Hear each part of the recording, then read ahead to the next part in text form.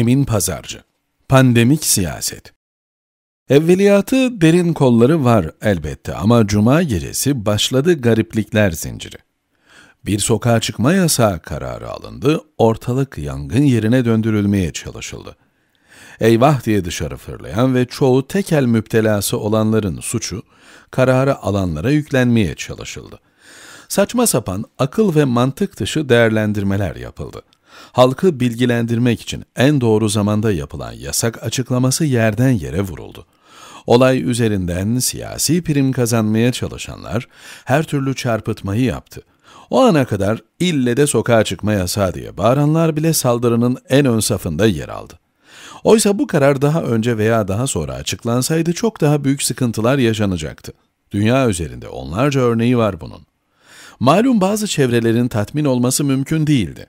Onlar bu iktidar dünyanın en iyi işini de yapsa biz karşı çıkacağız diye çok önceden ilan etmişlerdi zaten. Ama bu hastalıklı zihniyet siyasi pandemiye dönüştü.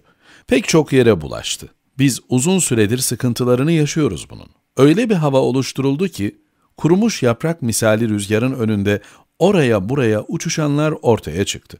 Sokağa çıkma yasağını tavsiye eden bilim kurulu üyelerinden garip homurdanmalar yükseldi. İktidar içinden bile rüzgara kapılanlar oldu. Dik duruş sergilemesi gerekenler eğilip büküldüler. Doğruları ve gerçekleri savunması beklenenler halk dal kavukluğuna soyundular. Küçücük bir zümre yanlış bilgilendirmeler, maksatlı çarpıtmalar ve oluşturdukları algılarla geniş kitleleri sürükledi peşinden. Tıpkı son yerel seçimlerde olduğu gibi. Ekrem İmamoğlu böyle seçilmedi mi? Kimi oluşturulan suni rüzgara kapıldı gitti, kimisi aman süreci yara almadan atlatayım diye sipere yattı. Dik durması gerekenler o dönemde de eğildi, büküldü, ortadan kayboldu. Meydan haksızlık karşısında susan dilsiz şeytan rolüne soyunanlarla doldu. İşte İstanbul'un hali ortada.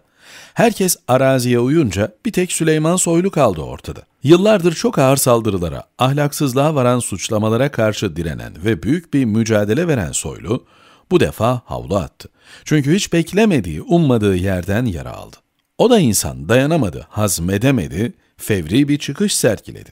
İstifa öncesi yaptığı açıklama ortada. Eleştirileri de aldım, kabul ettim, hakaretleri de aldım, kabul ettim. Kastettiği elbette CHP'nin sosyal medya trolleri, FETÖ, HDP, PKK ve türevlerinden yükselen hezeyanlar değildi. Onlara hiçbir zaman teslim olmadı. Soyluyu yaralayan ummadığı yerlerden fırlatılan oklar oldu.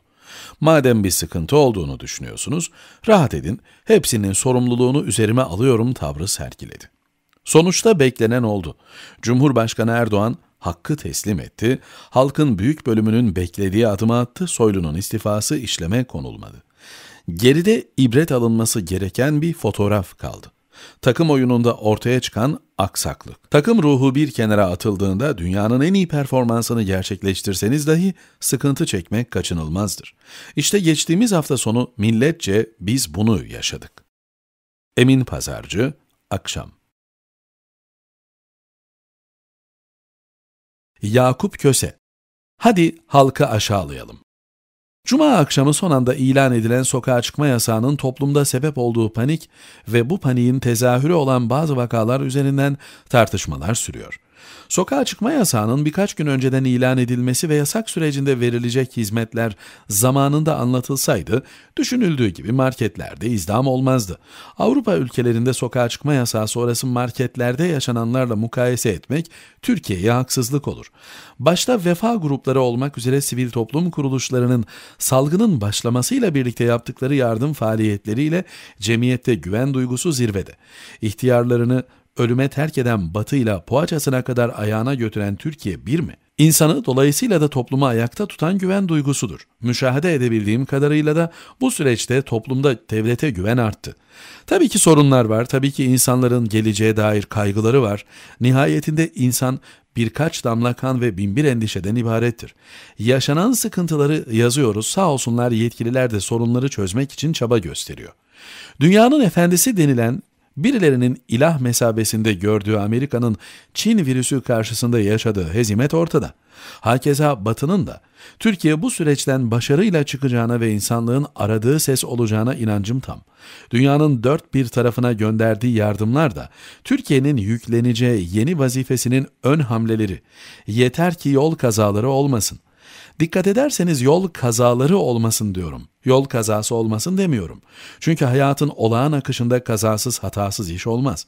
İnsanız yahu. Hatayı iş yapanlar yapar. İş yapmayan hata yapmaz. Cuma akşamı yaşananları da bu cümleden değerlendiriyorum. Cuma akşamı beni hayrete düşüren halkın küçük bir kesiminin sokağa çıkma yasağını duymasıyla birlikte gayet insani insiyakla marketlere hücum etmesi değil. Beni şaşırtan sosyal medyada paylaşılan birkaç fotoğraf ve 10-20 saniyelik videolar üzerinden genel bir değerlendirme yaparak bir anda kendini halkı sürekli aşağılayan Bekir Coşkun Yılmaz Özdil seviyesine indiren meslektaşlarım. Tanıdığım, sevdiğim insanların içinden bir anda Bekir Coşkun çıktı. Esnaf olan babasının yanında küçük yaşlarda çalışmaya başlamış ve 10 yıllık cezaevi süreci yaşamış biri olarak halkın ortalamasını iyi bilirim. Az çok neye nasıl tepki verebileceklerini de sezebiliyorum. Yani popülizm yapacak değilim. Tamam popülizm yapmayalım ama halkı da aşağılamayalım. Sokağa çıkma yasağı 64 milyona yakın insanımızı kapsıyor. O gece 64 milyonun çok küçük bir kısmı marketlere hücum etti. Peki bu insanların hangi sahiplerle marketlere gittiğini biliyor muyuz? Hayır. Peki ne yapıyoruz? Bir iki fotoğraf ve video üzerinden genelleme yapıp bu insanlara hakaret ediyoruz. Yapmayalım. Hele bunu halkına hizmet için gecesini gündüzüne katarak çalışan, yeri geldiğinde bağdaş kurup halkıyla yer sofrasına oturan Cumhurbaşkanı Recep Tayyip Erdoğan'ı savunmak adına hiç yapmayalım. Bir de market ve bakkallar o saatte yasak olmasına rağmen niye açıktı? Ceza kesilsin deniliyor. Biraz araştırdım. Market ve bakkal sahipleri saat 21'de kapatıp evlerine gitmişler. Sokağa çıkma yasağının açıklanmasıyla birlikte iş yerlerinin önünde kuyruklar oluşmuş ve telefonları susmamış. Bir bakkal dükkanı açmam için kapıma kadar geldiler diyor. Kendimizi bu insanların yerine koyalım. Şayet siz o gece bakkalınızı veya marketinizi açmasaydınız bir daha o mahallede dükkan açabilir miydiniz? Market ve bakkallara kızmak yerine teşekkür edelim.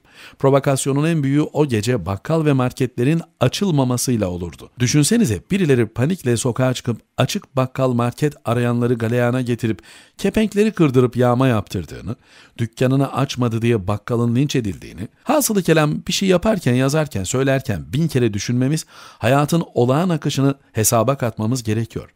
Yoksa bir anda kendimizi Bekir Coşkun'un safında bulabiliriz.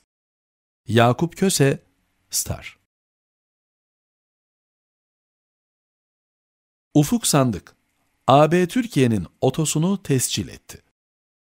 Türkiye'nin otomobil girişim grubu TOG otomobillerinin iç ve dış tasarımları Avrupa Birliği Fikri Mülkiyet Hakları Ofisi tarafından tescil edildi. 5 yıl süreyle geçerli olacak tescil haklarıyla birlikte fikri ve sınai mülkiyet hakları %100 Türkiye'ye ait olan araçların tasarımlarının tamamen ya da kısmen kopyalanmasına önlemek amaçlı önemli bir adım atıldı. TOG mühendis ve tasarımcıları tarafından ortaya konan, fikri ve sınai mülkiyet hakları %100 Türkiye'ye ait doğuştan elektrikli modüler araç platformu üzerine geliştirilmekte olan Türkiye'nin otomobili tasarım sürecinde önemli bir aşamayı daha tamamlamış oldu. TOG'un askı sürecindeki Asya ve Amerika'daki tasarım tescil başvurularının da 2020 içerisinde tamamlanması bekleniyor. Türkiye'nin otomobili TOG tasarım ve mühendislik ekiplerinin liderliğinde toplam 150 bin saatlik bir çalışma sonunda ortaya çıktı.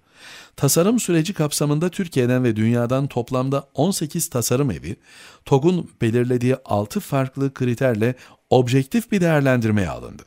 TOG tasarım ekibi yaptığı değerlendirmede en yüksek skoru alan 3 tasarım eviyle sürece devam etmeye kararı verdi.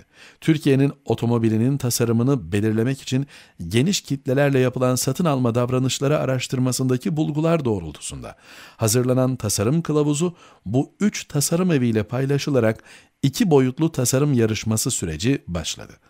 Bu süre zarfında yüzün üzerinde farklı tema değerlendirildi, tüketici araştırmalarında tespit edilen beklentiler tasarım evlerine geri bildirim olarak verildi. Süreç tamamlandığında her tasarım evinden gelen tasarım çalışmaları geniş kitlelerle klinik çalışmalar yapılarak test edildi. Ortaya çıkan sonuç TOG tarafından endüstrileşmeye uygunluğu konusunda değerlendirildi. Bu aşamalardan sonra Pininfarina Tasarım Evi iş ortağı olarak seçildi ve 3 boyutlu tasarım aşamasına geçildi. Türk tüketicilerinin iç görüleri doğrultusunda TOG ve Pininfarina'nın ortak çalışmaları sonucunda özgün bir tasarım dili ortaya kondu. Türkiye'nin otomobili, modern ve özgün tasarımında Anadolu topraklarının köklü simgelerinden biri olan laleden esinlendi. Otomobilin yoldaki imzası olarak algılanacak ön ızgarasına, bütünsel şıklığı tamamlayan jantlarına ve iç mekan detaylarına modern bir incelikle işlenen lale figürleriyle birlikte Selçuklu dönemi esintileri coğrafyamızın kültür mirasıyla olan bağı vurguluyor. 75 bin adetlik kapasiteye sahip fabrikada ilk ön üretim 2022'de başlayacak. Şirket 2027'de 100 bin araç üretecek, üretim 5 modelle birlikte 2032 itibariyle 160 bine çıkacak.